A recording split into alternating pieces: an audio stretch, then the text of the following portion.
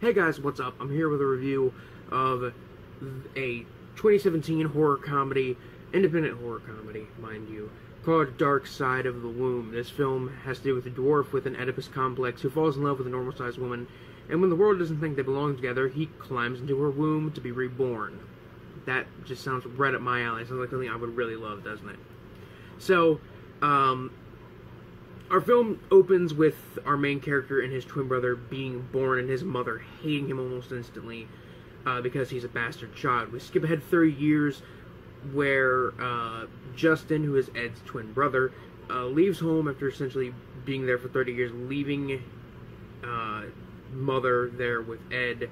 And it's a fairly like dramatic scene, and it's well shot, and it's interesting, and it actually like sets this movie up to be like, oh, this is gonna be dramatic, and it's like I thought this was a horror comedy. And then suddenly Ed walks into the room, and it's just, I was just giggling my fucking ass off. Um, I was, I was just fucking giggling quite a bit. Uh, and essentially after that, Justin goes out. He is then murdered, and this leaves Ed essentially by himself with his mother, who has always hated him. So to start off, I think that this film is actually fairly well acted, considering the cast is made up of practically nobody's. Um, everybody seems to at least be having a good time with the film and at least trying, so I can give credit there.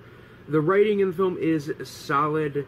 Like I like um like I said with the opening with that opening scene, it's it's fairly it's well shot and lit, and I think the whole film throughout the entire thing is very well shot and lit, especially towards the last 20 minutes. Um, it, it becomes kind of stylized and surreal, and I really dig that.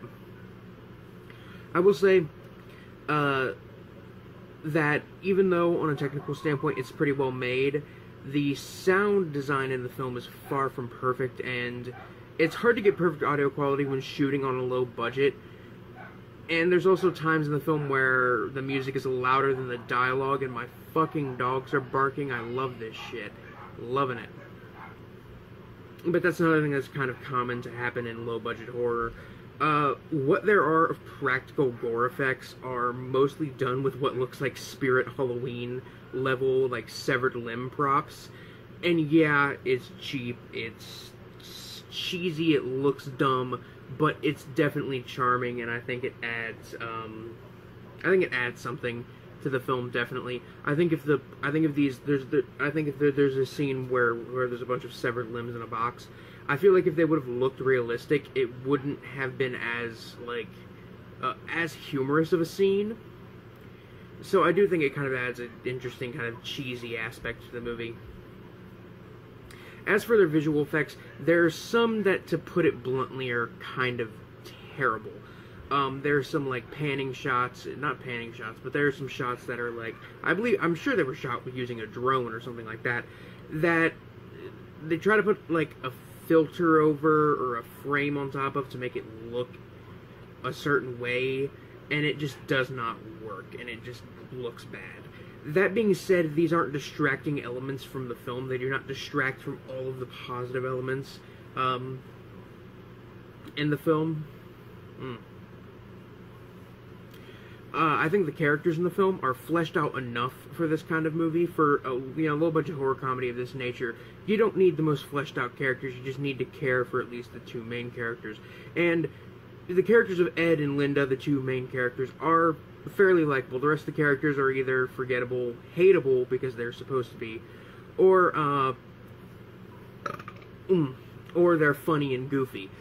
The characters' antics is a big part of what makes this movie funny is a big part of the humor, I should say. Mm.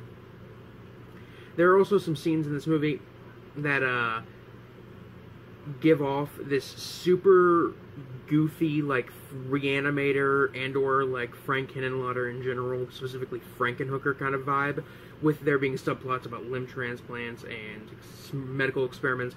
Um, there are scenes that are shot in black and white. There are a couple that are supposed to be kind of like nightmare and or flashback scenes, and those are fairly well put together and dramatic, and they're interesting enough. Um, there are scenes that do take place inside of the womb, which I think, uh, you know, those scenes start out as like just normal kind of average scenes, and then they, and then as the film goes on, they become more and more comedic.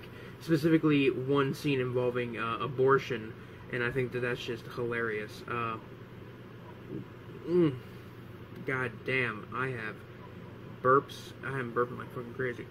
Uh, the effect for the uh, womb, for the womb scenes, is also cheesy as hell, but it's charming and funny, and funny. Uh, overall, I would say the pacing in the film is good. It's a little slow at times, but I would never say it was a boring, uninteresting film. There was always something interesting going on. Uh, although I will say there were scenes that, again, while they were interesting or funny, they did feel very, very unnecessary, and they did feel like they kind of dragged the movie down a bit and just slowed the film down in general. Um, I think a great example is when Linda meets with the doctor after the surgery uh, that, that they perform on her boyfriend. That scene felt very unnecessary, other than to introduce the two main characters. And if you wanted to do that, just have them meet at a bus stop or something. Uh, there's also a subplot in this film about a murderous clown who's on the loose, and his and he lives in an abandoned mannequin factory, and he talks to the mannequins as as if they're alive, and even imagines them uh, as being alive at one point and dances with them. And this is literally a direct reference to Maniac, one of my favorite slash films of all time. I love Maniac. It's uh, an amazing, an amazing film. Uh, truly one of the best out there when it comes to uh, slashers. On the gore meter, from 1 to 10, 1 being something like Nosferatu, 10 being something like Peter Jackson's Brain Dead, the dark side of the womb probably sits, I would say, at a 2. Um, you know, the effects are cheesy all the way through. It doesn't get like a little bit stomach churning until the end of the film, um, where you get into the cool climax that you that that, that that's it's like the moment you've been waiting for. Um, not the end, but like last 20 minutes, I should say. I really like this movie. It was fun as hell. It was original, and it's something we lack. It's that is definitely those two things are things we lack in horror movies these days. Even even independent horror movies sometimes um, lack originality and just a fun nature. To be honest, if you aren't used to low budget horror, if you don't, if you can't stand it when uh, the effects don't look realistic, if you can't stand, you know, a movie obviously being shot cheap, uh, obviously being shot on a low budget because it, it, has low budget films have that look to them. If you can't stand that kind of look, it's not really a movie for you. Uh, you might want to skip it. I would say. I only the my I, I my only ugh for fuck's sake, my only complaints about this film are those few scenes that didn't really feel necessary, um, as well as um, the fact that it wasn't as gross as it sounded as a movie. As a movie, it sounded like just some kind of like like I said, Frank Henenlotter esque, like just gross horror comedy. It sounded it sounded kind of like not plot wise, but it sounded similar to like Basket Case. How Basket Case has has a has a kind of gross premise.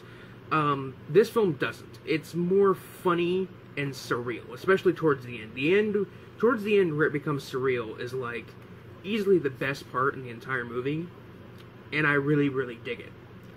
Um, but yeah, other than those scenes and the fact that it wasn't, I, I would also like to say um, there wasn't enough weird body horror shit in the movie.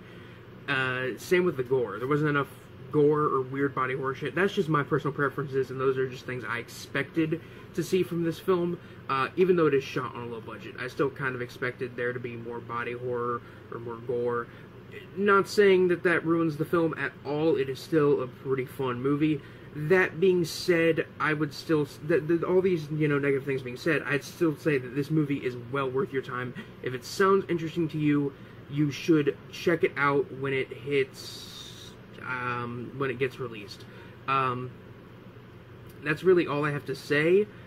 I'm gonna go ahead and give this one a three and a half, four out of five. I'm gonna go ahead and give it this very, very high, solid rating because I legitimately had a lot of fun with this movie.